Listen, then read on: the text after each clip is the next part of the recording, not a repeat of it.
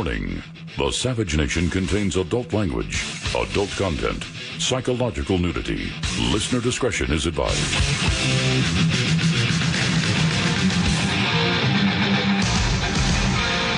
And now, America's most exciting radio talk show, The Savage Nation, home of unprotected talk, borders, language, culture.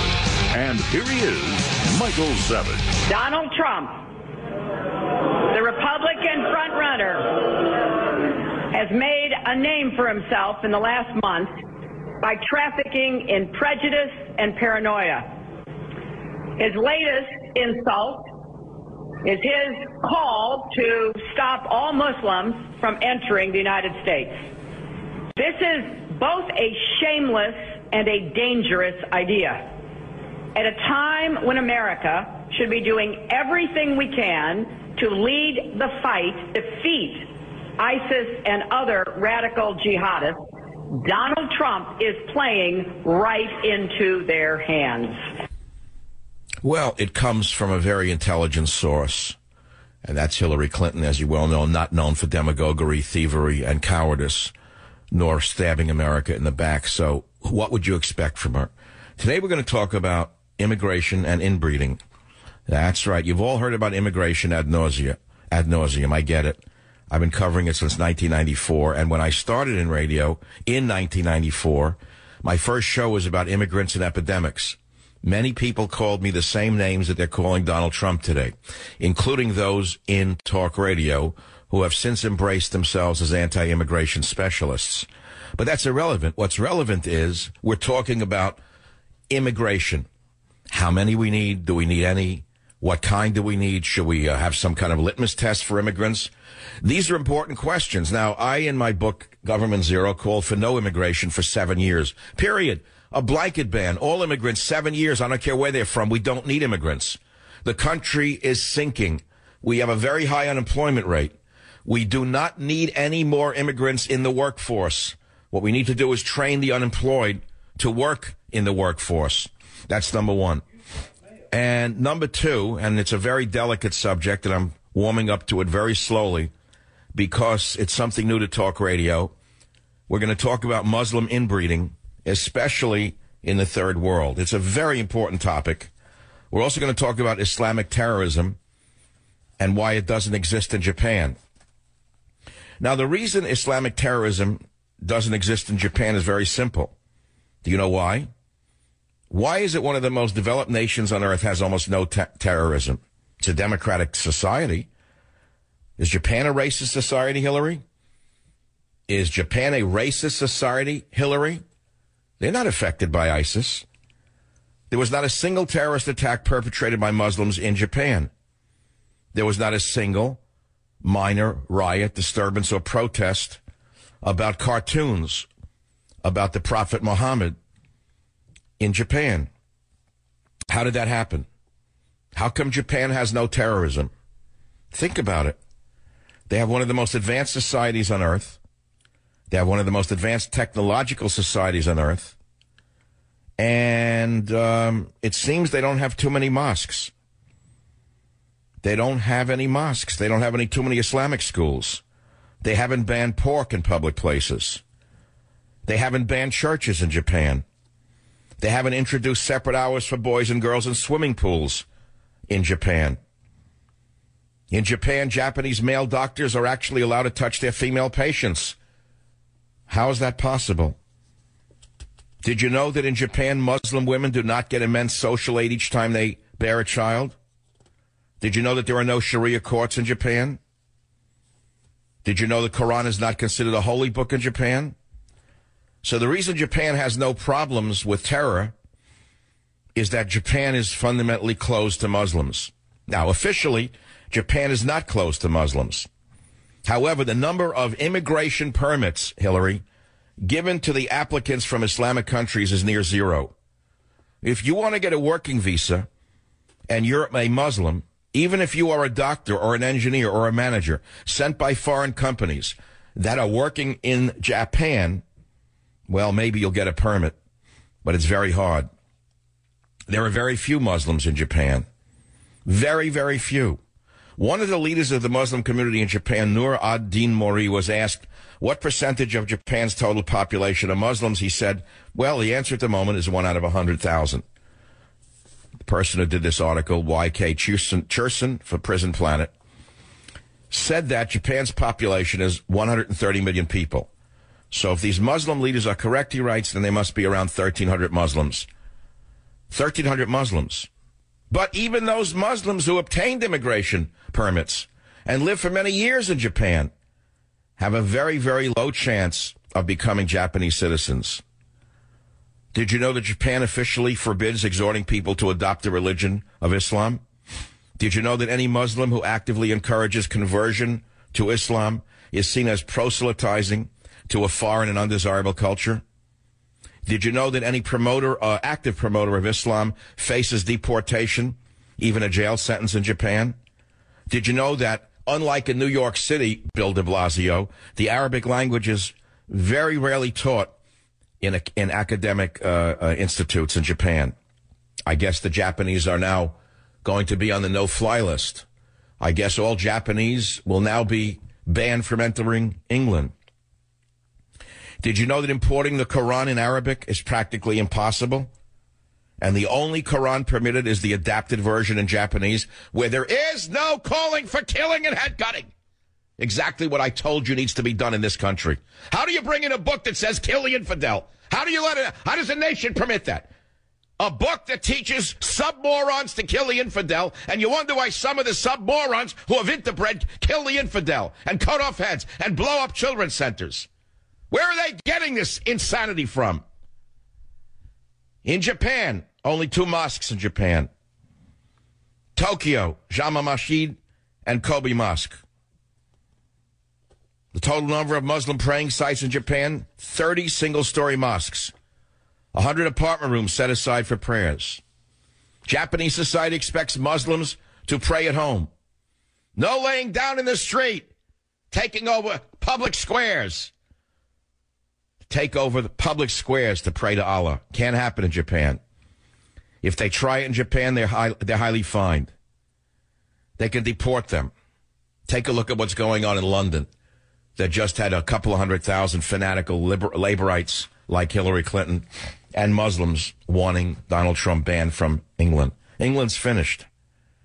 Did you know that Japanese companies seeking foreign workers specifically say they do not want Muslims?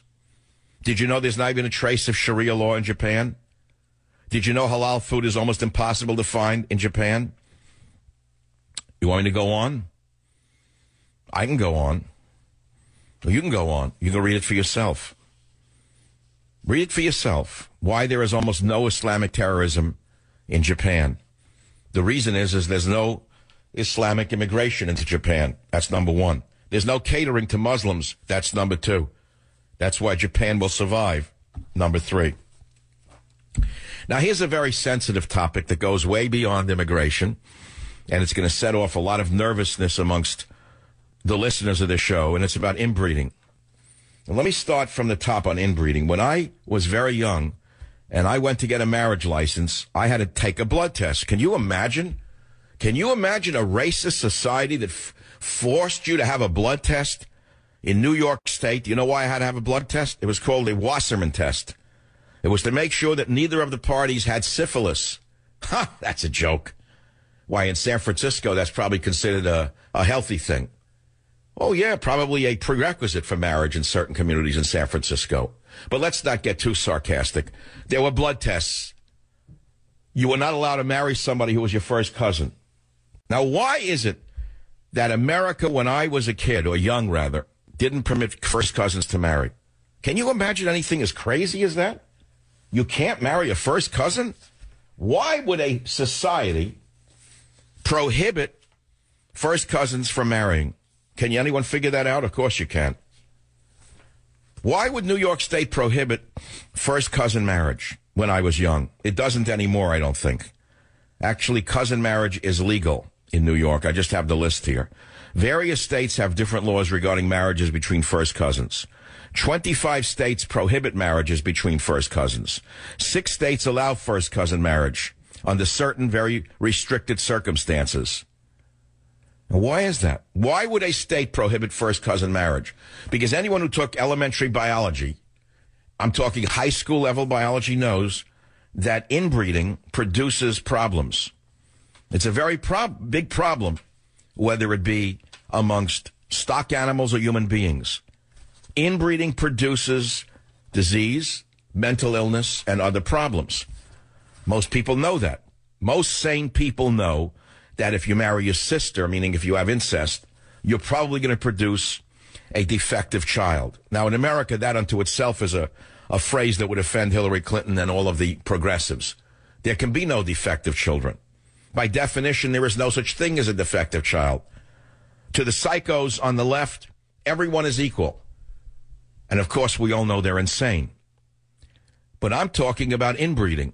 I'm talking about inbreeding in any society. Why am I talking about it now? Because you may not know this, that massive inbreeding within the Muslim culture has been going on for a very long time. In fact, for the last 1400 years, primarily in the third world.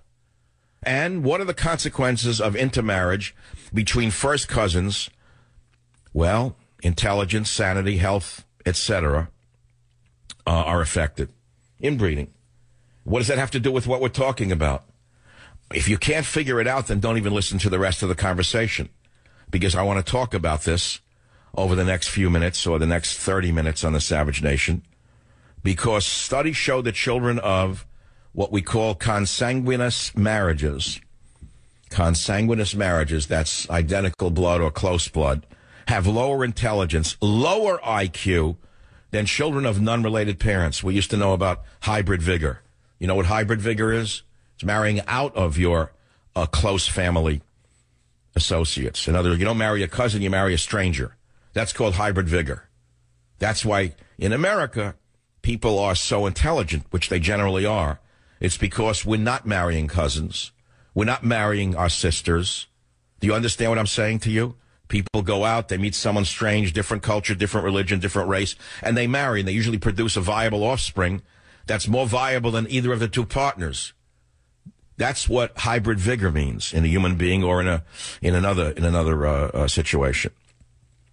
But the Muslim culture, according to studies, still practices inbreeding. In fact, in Pakistan, Pakistan, pay attention now, Pakistan, where the two lovely, darling newlyweds just came from, that slaughtered all those people in that place called San Bernardino, Hillary. San, say it, Hillary. San Bernardino. And then say Muslim. Then say slaughterers. Hillary, did you know there was a Muslim massacre just a week ago in San Bernardino? Dino Hillary?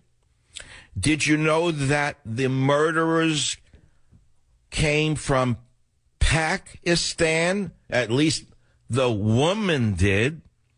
And did you know that in Pakistan, Hillary, 70%, that's a seven and a zero, a seven and a zero, Hillary, 70% of all marriages are between first cousins. Hillary. I know they'll make excellent Democrats because they have low intelligence, they're half insane, their health is suffering. What else could you ask for in a future America?